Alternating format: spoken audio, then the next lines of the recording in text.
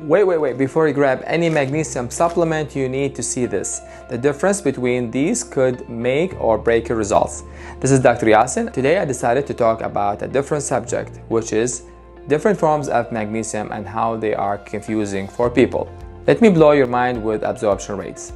Magnesium oxide, 4 to 40% absorption only. Cheapest but worst absorbed. Magnesium citrate, 90%, the sweet spot for most people. Magnesium glycinate 80% best for sleep and sensitive stomach. Magnesium L-threonate 60%, the only one that reaches your brain. So here is exactly which one you should take based on your goal. So if you can't sleep, take magnesium glycinate. The glycine molecule calms your nervous system. You're getting migraines, take magnesium oxide. I know it's weird, but it works.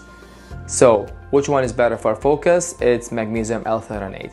It actually crosses the brain and increase magnesium level in the brain. It should be taken twice a day.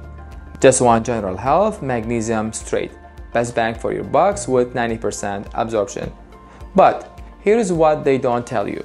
Magnesium oxide gives 30% of people diarrhea, while magnesium glycine gives only 5% diarrhea. If your stomach hates you after taking magnesium, just switch forms. One more thing, 10% of magnesium supplements are contaminated with lead. Always look for USP verified or NSF certified on the label. Your health is worth the extra few dollars. Save this post, screenshot the absorption rates, and stop wasting money on the wrong magnesium. Which one are you going to try? Drop it in the comments below. Thank you so much for watching.